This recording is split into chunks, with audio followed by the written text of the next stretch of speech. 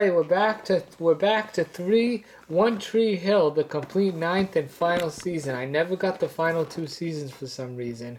I don't know why. I thought there was only seven seasons, and then I went online one day and found out there was nine seasons. Isn't that wonderful? You always find something out, but it's always too late. I was able to find the ninth season at the same place, but I couldn't find season number eight, so I got it eh, to got it so I could get free shipping on Amazon by combining it. I normally don't like Amazon anymore, but I had no choice for some certain things. 555 minutes, Dolby Digital 5.1 surround. A lot of these sets say this, but it's not true.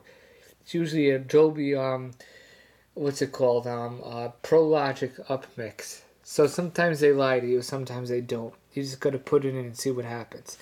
Got some special features.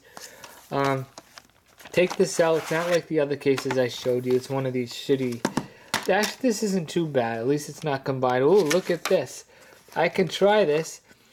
Um, actually, yeah, I can try this code probably in Vudu. It's not going to work in Movies Anywhere. It's probably expired already, too. It's, if it did expire, it was on April 10th of 2014. The only reason why I say if there's a slight chance it'll work I can try iTunes and Vudu because I tried that with an old Family Guy Blue Harvest and it worked. So you never know. Sometimes they work. There's um a guide here for everything, for all the episodes, and they have the dates. I like the guides when they include the dates, not just the description. This ended in 2012, so this show is about 12 years old when it shut down.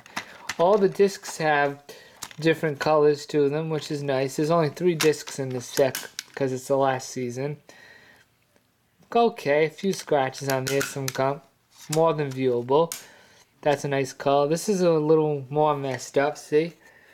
Um, let's see if that wipes off. Yeah, it wipes off. So it's nothing permanent. Just been in there a long time. There's some scratches though, but the scratches shouldn't affect the play. For the most part, look at that. It's been in there so long. There's a number 8 on here. What the hell has happened with that? I never saw that before. That just probably got burned in there from something. Yeah, probably from the number, whatever is on here. And then we look at number three. Um, this one looks pretty good. It has that weird looking oily thing. I tell you, discs when they get old, and that's a lot of Warner Brothers discs look, look like that because they're so damaged because they have no quality control at all. It's the worst company on the planet. So that's that. So since this is a shortened season, it's 555 minutes.